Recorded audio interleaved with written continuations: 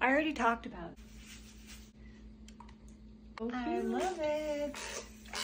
Pink is everything. Yes, Debi. Why?